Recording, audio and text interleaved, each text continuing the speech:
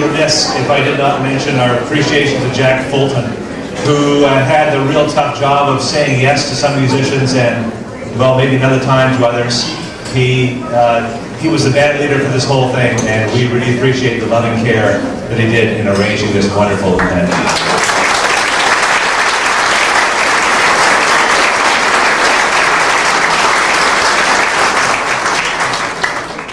Yeah, hi, I'm uh, Allister Taylor. Uh, a little while ago, Jim Armstrong and I played a beautiful song in honor of Lance, and uh, just a little story about the song, which kind of reminds me about my early experiences uh, playing occasionally with Lance. Uh, Jim managed to fax the, uh, the music for that song to me last night, and uh, when we played it, this afternoon, we'd never played it together before, and I'd never seen it before last night which probably explained why there was the occasional wrong chords uh, coming out of the piano, uh, which of course is the last thing I would ever really want to do at, uh, at an event in, in honor of Lance Harrison, because Lance musically was a perfectionist. And, uh, and I remember when uh, I had the great honor and privilege uh, many years ago occasionally to, to sit in, in Lance's band or to fill in for, for Frank Mansell when he wasn't uh, able to play.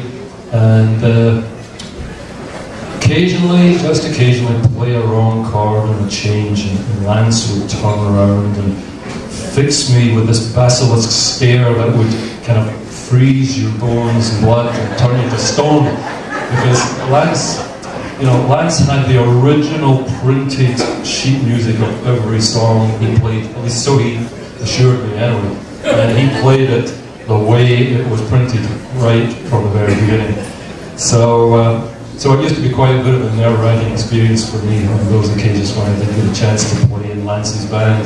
It was a lot better when he was a sideman playing in a band where, where I was involved because you knew he was going to play everything perfectly. And uh, I, will, I will always remember Lance's musicianship and uh, also remember Lance every time I, I put a bump note in the card.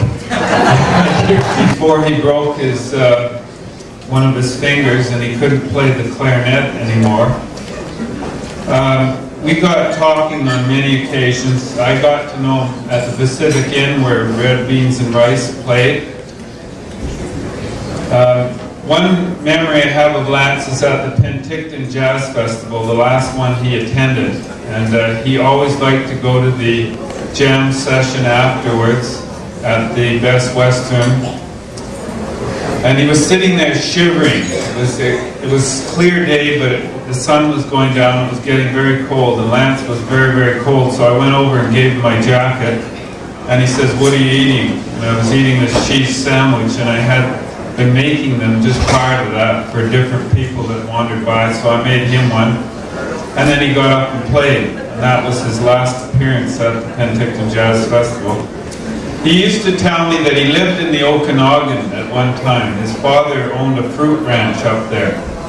And uh, he remembers the Sicamous boat.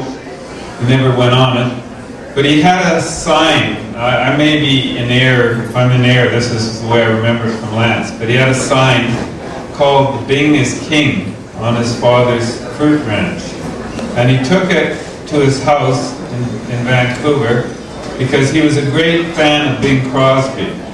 Bing Crosby was from his era, and he had that sign, the Bing is King, in his house.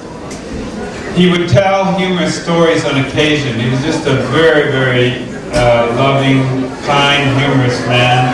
Gentle is certainly the word.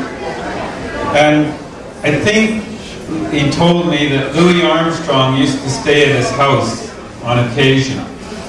And one Saturday evening, I think it was a Saturday, the night before the concert, they were going out for spaghetti dinner.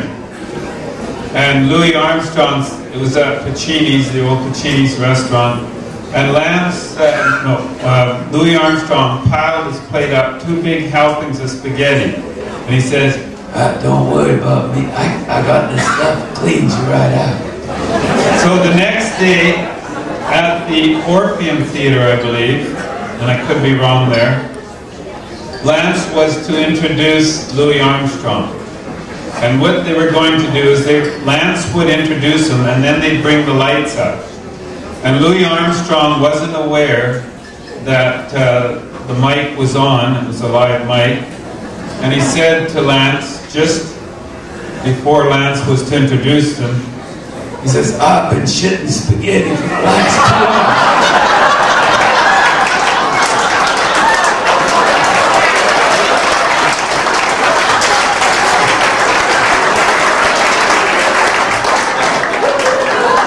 Anyway, to uh, Lance and his many friends, to Lance's family and his many friends here, he, he was tremendous guy, one of my very favorites, and I'm sure he is too. Thank you.